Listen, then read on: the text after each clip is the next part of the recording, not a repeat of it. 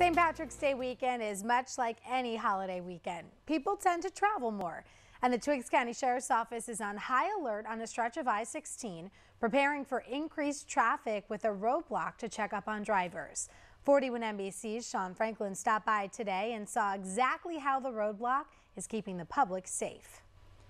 There were at least 50 or 60 officers out there today. I was on the side of exit 27 on I-16 where officers told me they expect increased traffic for the holiday weekend and they expect it every year.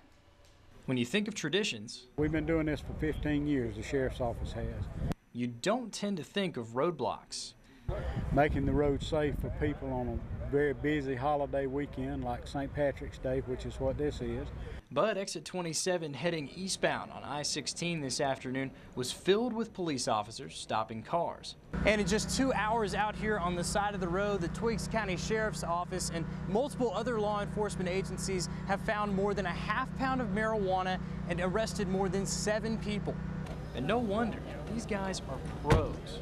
And what we're doing is we're looking for people that's under the influence or in possession of drugs or having some kind of violation like suspended licenses. Twiggs County Sheriff Chief Deputy Billy Boney says they have a little help from their drug detecting pets. Uh, if they give us enough reasonable suspicion to think that something may have gone on in the car, we just detect the smell of marijuana or something like that, then we're going to walk the dog around the car and see if the dog gives us a positive alert. If he Boney says the increased enforcement on this stretch of I-16 has improved public safety dramatically. We had numerous fatality accidents on this interstate, I-16, uh, and due to that, we started enforcing some traffic laws on 16, and our fatality rate has decreased tremendously. And you can partially attribute success like that to a well-practiced tradition.